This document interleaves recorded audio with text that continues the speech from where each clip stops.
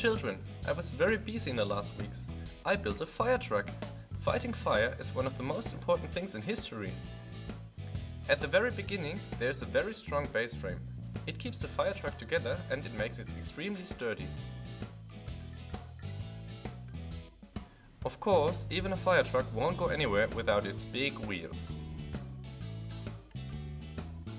On the road it is very important to see and to be seen.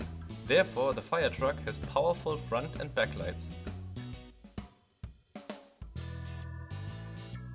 In this fire truck there's place for one driver and another firefighter, sometimes two.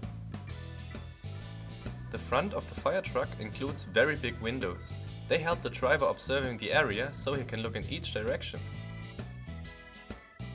In the middle part of the fire truck there's space for important tools for firefighters, a fire extinguisher for example. The back part contains a big water tank. It is extremely important at places where there is no other source of water for fighting the fire.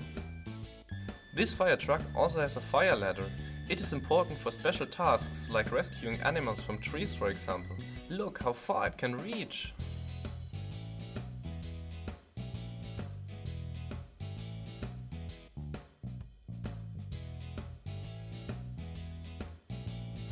The last parts were the two siren lights. Hearing the sirens and seeing these lights means that the fire truck is on a mission.